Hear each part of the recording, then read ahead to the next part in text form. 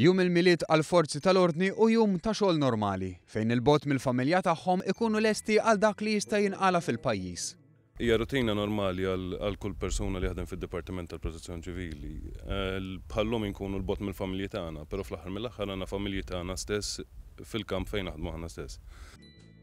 Fortunatament għall-ħaddiema tal-Protezzjoni Ċivili, din is-sena il-lejl tal-Milied kien wieħed kwiet. Bħala lejl kien kwiet, bħala lejl tenkżot ma kellniex inċidenti kbar ta' barra minn hawn. Kien kwiet komparat ma' soltu, komparat ma' festi oħra bħal mumma l-miliet u l-aħħar tas-sena. Dawn kien kien pjuttost kwiet. L-kwiet ukoll għall-Pulizija, għajr għal xi każi li ġew irrapportati fl-Għassa ta' San Ġiljan. Bdejna x-xift tagħna ħamsa ta' filgħodu. As such, is-soltu rapporti bħalma jkollna matul is-sena, argumenti li jkollhom in-nies bejniethom, nies fis-sakra. Li kelli as such fuq ix-xift tiegħi kelli bodily harm fejn wieħed sofra ġrieħi ħfief u li kellna serq ta' mobiles minn clubs. Kien hemm wieħed ukoll saġ kisrulu l-karozza u serqulu xi affarijiet mill-karozza.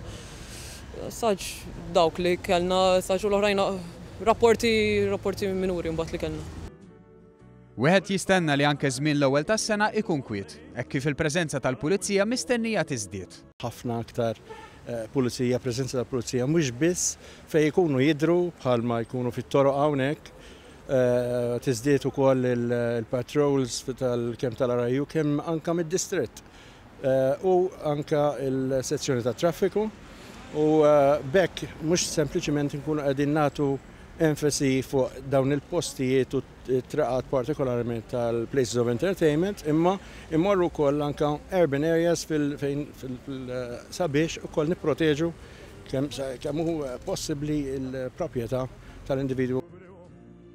U f'Jum il-Milied, il-Ministru tal-Intern u s-Sigurtà Nazzjonali Carmelo Abela żar l-Għassa tal-Pulizija ta' San Ġiljan u l-Istazzjon tal-Protezzjoni Ċivili f'Ħal Far. Huwa tkellem mal-ħaddiema u f'isem il-poplu Malti wera l-apprezzament tiegħu għall-ħidma tagħhom.